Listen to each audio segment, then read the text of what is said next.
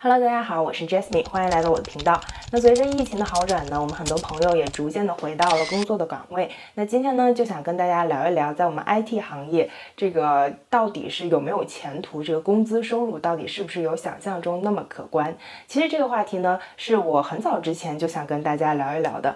因为很多时候，当我跟别人说我是从事 IT 行业的，那其他很多人的第一反应就是，哇塞，你好厉害，一个女程序员，或者说，哇，那你们这个行业。是不是赚很多钱呢？我有一个朋友的老公就是在某个公司从事 IT 行业，那他一年可以赚二十五万，有的说三十五万。那每到这个时候呢，我都特别想跟大家解释一下，其实，在澳洲呢，IT 行业真的没有大家想象的那么美好。在澳洲从事 IT 的工作呢，总的来说呢，我们大多数的岗位呢，其实做的都是一些辅助性的工作，这就意味着我们的江湖地位并没有那么的高，我们的收入呢也并没有那么的可观。所以这一期的视频平呢，我就想站在一个女性从业者的角度，跟大家好好的八卦八卦，在这个行业我们的收入到底可以到多少？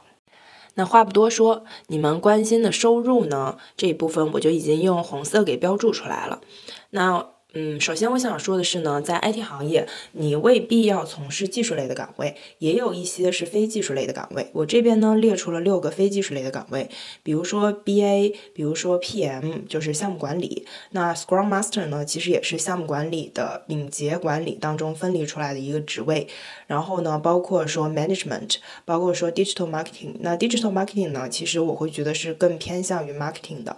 然后呢，Sales，那就不用说了，肯定是都不。用用编程的，那这六个职位具体是做什么呢？我这边就不详细说了。但是呢，呃，这几个职位是肯定都不用编程的。那你们可以看到，其实 BA 和 Digital Marketing 这一块呢，它的起薪并不高，然后天花板呢也是比较明显的。那管理类的岗位呢，你会看到它其实收入呢是比较 OK 的，但是我自己的感觉是在很多的小公司，甚至是中型的公司，它其实很多岗位是同一个人，比如说 Account Manager 和 Project Manager，甚至是 Scrum Master，它都是同一个人，甚至包括 Sales 都是同一个人。那这就意味着它其实门槛是相对高的，它需要你有一定的项目经验。我的观察是在偏管理的岗位上呢，华人真的是比较少的。那因为我们华人在语言和文化上呢都是不占优势的，那这一点其实也是可以理解的。那同时呢，这一部分的岗位其实并没有那么的多，我这边可以给大家看一下直观的数据。那我们这边呢，来到最常用的澳洲找工作的网站 Seek。那我们可以看到呢，其实，在疫情期间，所有的工作岗位都并没有特别的多。那最多的呢，其实是医疗方面的以及 IT 方面的，一个是一千五，一个是一千九百多个岗位。那么我们点开 IT 行业，我们可以看到我们刚刚说的这个 Management 以及这个 BA，如果我们勾选出来的话，把下面所有的这个非技术类的岗位。嗯，都勾选出来的话，其实我们可以看到，那总共呢，这个这些岗位加起来也就只是三百多个岗位，嗯，这只占一千九百多个岗位中的三百多，所以说它的这个 position 量真的是比较少的。那技术类的岗位呢，我这边也分了两个部分，一个是非纯编程的，就是需要用用到一些编程，但是不是你们说的那种纯。这个程序员，然后另一部分呢就是程序员纯编程的，所以你们其实可以看到啊，就是 IT 行业的细分它是非常多的。除了程序员会一种语语言，然后他学其他的语言会比较快，是相对容易互相兼容的。但是如果是从事其他的细分领域的话，其实相对相互兼容的话，它的难度还是有一些的。就是如果你在一个岗位，即使是你有一定的沉淀，有一定的工作经验，但是如果你要换到另外一个细分岗位的话，其实依旧是一个把自己推倒重建的过程，所有的技术啊、工作经验呢，你都是要重新学过的。那我们先来讲一下技术类的非纯编程的一些岗位。那你们可以看到啊，就是比如说 IT support 就是支持类的，和这个 tester 就是测试类的，包括说 UX UI 的设计这几个方面，他们都是起薪会相对比较低，并且是他们的天花板都是比较明显的。那这几个岗位里面呢，只有 network 和 security 就是网络或者网络安全方面，以及数据分析、大数据方面。有相对好一点的薪资，那么这些岗位的占有量有没有很大呢？那我们还是回到 Seek，刚刚呢我们勾选了所有非技术类的岗位，那么我们这一次呢就连同非纯编程的岗位一起勾选出来，看看结果会怎么样。OK，那我们这边看到呢，我们勾选了差不多九百零四个岗位，也就是说，IT 的一千九百多个岗位中呢，有一千出头个岗位都是纯编程的岗位。那这也就是为什么说 IT 的岗位比较多的原因呢？是程序员需求的量会比较大，而且一直在增大。那也就是说呢，程序员其实是相对好找工作的。那也因为它的供不应求呢，程序员的工资自然会相对高一些。那我们下面呢，就看看你们最关心的程序员工资到底是多少啦。OK，那到了这个部分呢，传说中的高工资总算是出现了。那我这边呢，其实还搂着写了，其实三十万、三十五万呢，也是有可能会出现的。那就处于金字塔顶端的人了。那因为下面一行呢，就是做游戏的，包括是算法工程师呢，在澳洲其实是职位会不多的。那我这边就不说了。那我重点还是说前面两个吧。首先呢，我想先说一个事实啊，就是你们看到的最高工资可能真的会非常高，但是其实在我身边呢，所谓的很多技术大牛，他们工资的天花板也就是十二到十五万这个样子。所以说呢，被你们发现了，那些处于金字塔顶端的大神呢，卑微的我其实是没有见过的。那什么情况下会出现这样传说中的大神呢？我觉得大概分为两种情况。一种情况呢，就是他真的拿到了所谓的大厂 offer，就是我们说的 Amazon 啊、Google 之类的 offer。那么这样的 offer 呢，其实它的收入是分为三个部分的，分为呃工资。呃，分红还有 bonus，那加起来呢可能会有二十五到三十万。但是其实，在澳洲呢，这样的职位是非常非常的少的。出于好奇呢，我也在搜搜了一下 Google 的职位。那如果我把地点设为墨尔本呢？我能搜到的关于 IT 的职位一共只有两个，所以其实这样的职位会相当相当罕见的。那第二种呢，就是他的技术真的非常过关了，然后他也不用花太多的时间去钻研呐，或者去学新的东西。那他又想赚到更多的钱，所以呢，他就在自己的本职的，比如说十四、十五万的工作的情况下，又自己开了咨询公司或开了其他的小生意。那么他的总的加起来的收入呢，也有差不多二。十几万、三十万，那还有一种情况呢，也是传说中的收入很多，但是但是其实收入并没有大家想象的那么多。就是澳洲的工作分为两种，一种是 contractor，一种是 permanent employee。那 contractor 呢，它是按小时的工资算的。那有一些稀缺的岗位呢，它的小时的工资会给的特别的高，比如说一百到一百二十刀一小时。那么算下来，它每一年的收入呢，大概有个二十五万。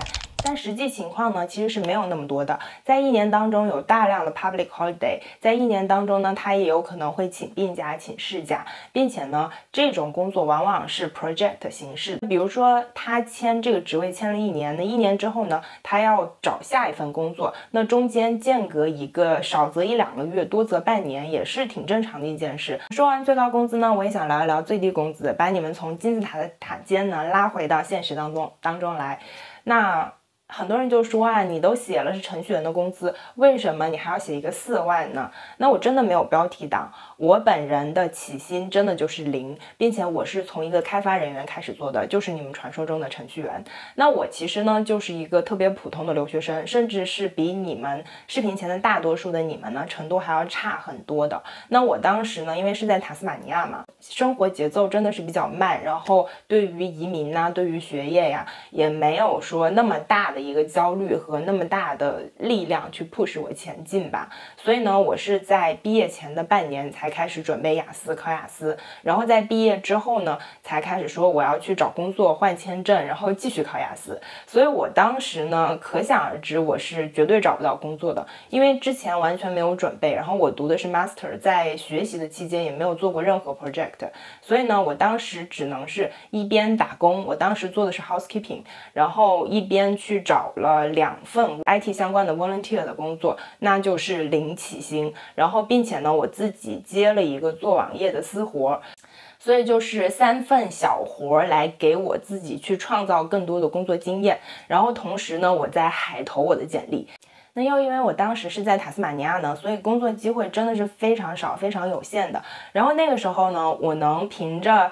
一点点的工作经验呢，找到一个工作，找到一个公司能收我，然后我能得到一份 offer，已经是谢天谢地了。我当时也不会去管说工资是多少啊，我又偏向哪一个细分领域啊，我以后的这个职业前景是怎么样的呀？所有的这些东西通通都没有想过，因为我那个时候甚至 PR 都没有拿到。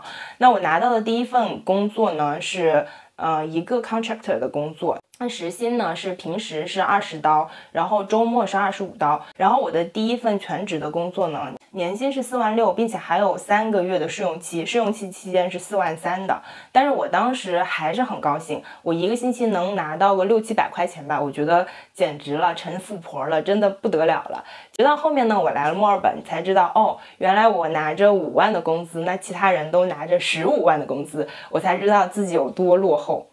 那对于程序员的平均工资到底是多少呢？我也在网上搜集了一些资料。那我会发现呢，不同的网站对于程序员平均工资统计的结果是非常不一样的。有的呢就是比较的悲观，是六万八；那有的呢是比较乐观，是八万二。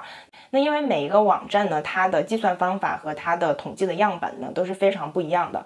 那我这边呢取了 Seek 上的一个统计结果，因为它这边呢统计的数量还是比较大的。那就我自己的经验来看呢，七万五这个数字呢也算是比较中肯的。看这个数字呢，视频前的你是什么感觉呢？是不是觉得嗯，真的是没有想象中的那么多？是不是心理平衡一些呢？那你的行业的平均工资是多少呢？也欢迎在视频的下方给我留言告诉我。除了这个并不是想象中那么美好的工资呢，其实我更想给大家看到的是，在这份工资的背后，你需要付出的是什么？其实当你决定从事 IT 行业之后呢，无论你是做程序员还是做其他的一些细分的岗位，那就决定了你在这个整个过程当中要不停的学习。那总的来说呢，在 IT 行业，行业的发展、技术的更新换代呢，实在是太快了。嗯，基本上是每年甚至每个月都会有一些更新。那这个是我们在学校学到的东西，那基本上呢，就像是一个卡通的房子。那我们在工作中需要用到的呢，这个是排名前二十的语言，然后再往下排名三十到五十的语言呢，其中大部分我真的不知道是什么。就相当于说，在我们的工作当中呢，我们需要要呃用到的东西是这个样子的，而客户想要看到的呢是这个样子的。那包括说，我们如果做的是基于某一个平台的软件开发呢，我们需要考的证也是非常多的。那我这边呢，就拿微软举个例子，如果你要考任意一个嗯 expert 级别的证呢，那比如说我这边勾选 MCSE，那任意选一个，那。那这边呢就显示了，如果你想得到这个证书的话，你需要通过哪一些的考试？那前面呢有五五个分类，就是前面有五个 associate 类别的证书，你拿到其中任何一个，然后再通过接下来的三个考试，就可以拿到证书了。那我们点开任意一个前面的这个 associate 级别的证书，看看需要什么？这边呢就显示了需要通过另外三个考试，你才可以拿到前期的这样的一个证书。也就是说呢，你如果是想拿到 expert 级别的证书呢，你可能是要通过五到六个考试才可以拿到的。那类似这样的证书呢，我自己之前也是考过的。那其实这些呢，都是三年之后它就会版本就会更新，然后你就要整个重新考过一遍。那它的考试流程呢，也可能会有一些的变化。当然，这都不是最惨的，最惨的呢，就是你之前基于的这个平台呢，现在已经不用了。那么其实你一切都要重新再来。那我刚刚说完这么多呢，是不是会打破很多朋友对 IT 这个行业的想象或者是认知呢？那其实我在这边想表达的是呢，真的没有哪一个行业是躺着就可以赚钱的。我认识到的很多大牛呢，他们也无时无刻的不在研究新的领域和知识，去学习新的技能，去跟同行业的人交流。在你看到他们收入波峰的时候，其实有非常多的不为人知的时候，他们是在默默的努力和钻研的。那在这里呢，也祝屏幕前的所有的你们都可以找到自己喜欢的行业，每天做着自己喜欢的事情，并且顺顺利利的找到自己喜欢的工作。那喜欢我的视频的话呢，别忘了给我点赞，同时呢，别忘了关注我，点击旁边的小铃铛，这样就不会错过我后面有趣的话题啦。今天就到这里啦，我们下期再见，拜拜。从前有个人关注了我，后来他发财了。